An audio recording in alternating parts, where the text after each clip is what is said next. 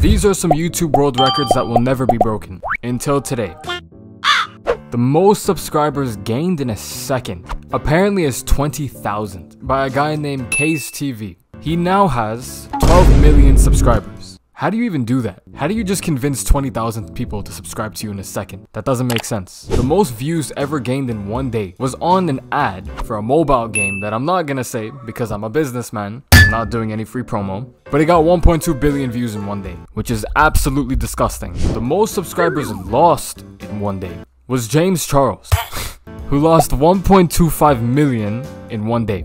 You know what we should do? Let's make this video the most subscribers gained from one short. So do this. Double click this and press this button.